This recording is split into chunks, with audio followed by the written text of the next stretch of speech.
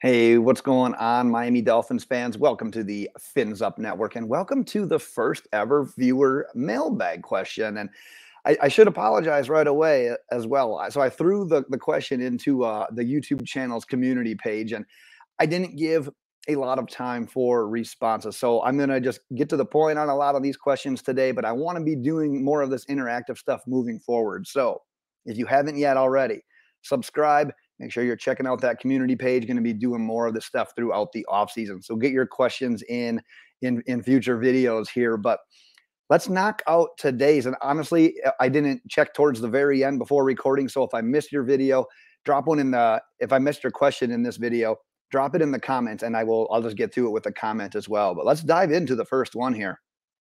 It's coming from Dolph fan 5413 why not bring in a veteran center for some competition? And man, I have the same question. Why not? Wouldn't hurt, right? So I was taking a peek at some of the, the veteran free agent centers available. Obviously, JC Tretter, who's 31, Matt Paradis, who's 32, Trey Hopkins, who's 30 years old. Or maybe you go down an old path with bringing Ereck Flowers back at, at guard and there's been some of that conversation of can Connor Williams step in and play center? And while I'm sure he's probably able to, not as big of a fan of that. He's been an established left guard in this league. Let's leave well enough alone. Let's not move him around. But it's also possible that the Dolphins think that they're just fine with the in-house options that they that they have. There's been reports saying, you know what, like the Dolphins wanted to address offensive line and free agency, and they did that with Williams and Armstead, and they feel that with the guys they have, the young guys that they have with the new coaching, with the new scheme, that those guys can flourish. So I don't think we can panic if this is it. I want JC Tretter. Don't get me wrong. He is an immediate impactful player to this this roster. You slot him in at center, you are good to go.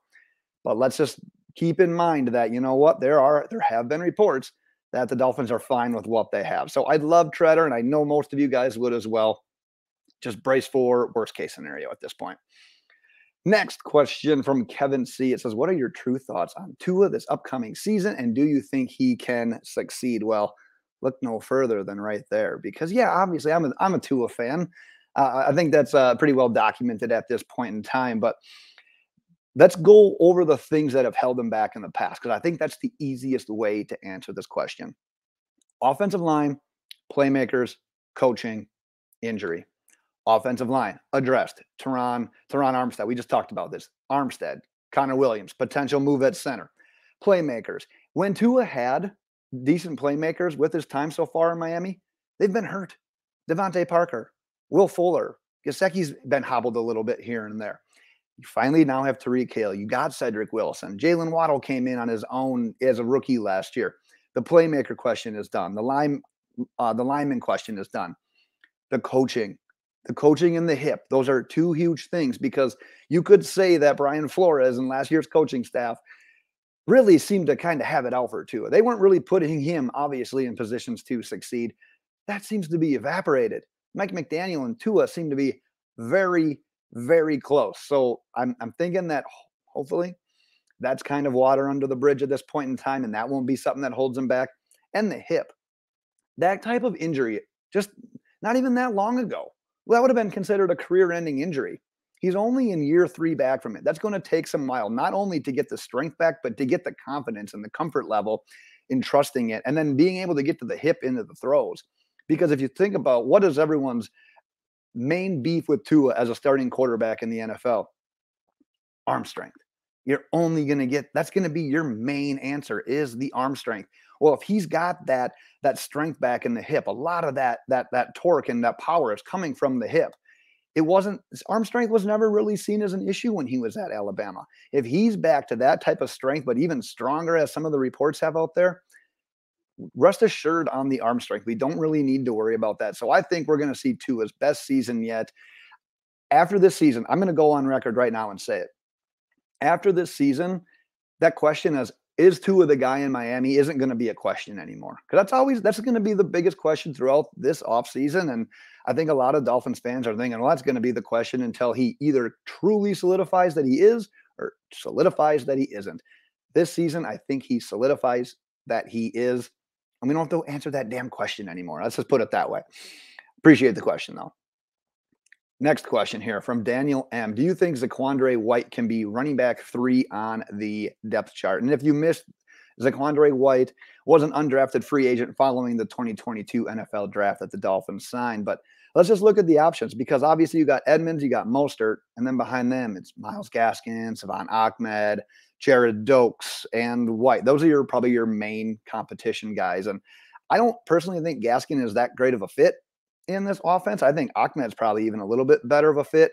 And while I like Gerrid Doaks, I see him likely more as this practice squad guy again going into year two. So Zaquandre White, he, he's got his pros, he's got his cons. Obviously, he's going to be facing an uphill battle being an undrafted free agent. Just making the squad is going to be an accomplishment in itself. But honestly, there's probably is no reason. We talk about running backs, no reason he can't uh, finish as or end up on the depth chart as running back three. We talk about that transition from the collegiate to the NFL level. And while it's hard at every single position, running back seems to be the position where guys can come in. And yeah, there's a learning curve, but it's not near as steep as what you look at like quarterback and tight end and offensive line. These guys can come in, and if he makes some some uh, some flashy plays and he splashes in training camp, no reason to think that that he can't be kind of brought up the depth chart slowly and finish as the running back three. I, I have no beef with that whatsoever. And let's let's do one more. Let's do one more today, and it's from John Jay, and it says, "If you had to say today, what will the Dolphins' starting offensive line be?" And if this is a different answer, what would your ideal starting offensive lineman be? So a little bit of a two for one there. So current options on this team what I think the Dolphins would be if they had to play a game today. Left tackle to right tackle. Is this how I want to do it on the screen for you? I think so. Terron Armstead, Connor Williams, Michael Deiter, Robert Hunt, Liam Eichenberg. Let me go right into my ideal and then I'll kind of break it down from there. Terron Armstead, Connor Williams, JC Tretter, I'm gonna I'm gonna scup all the way over to right tackle right now and say Robert Hunt. And why I did that is because I think at right guard, you talk about right tackle being Tua's blind, uh, the protector of Tua's blind side. If you've got Austin Jackson, Robert Hunt, Liam Eichenberg, and Michael Deiter, who do you trust the most of that group to protect your franchise quarterback blind side? In my opinion, it's Robert Hunt. And I and I know I talked about not wanting to shuffle guys back and forth, honestly, who do I trust in that group?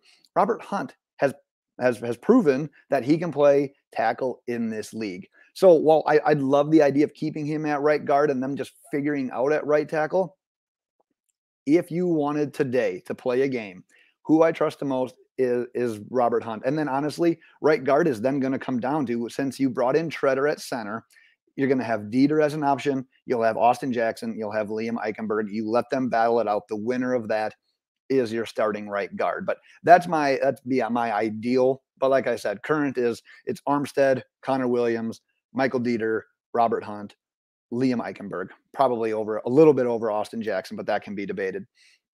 But that's what I got today. Um, like I said, I apologize for the the late notice on asking for questions, but make sure you're subscribing.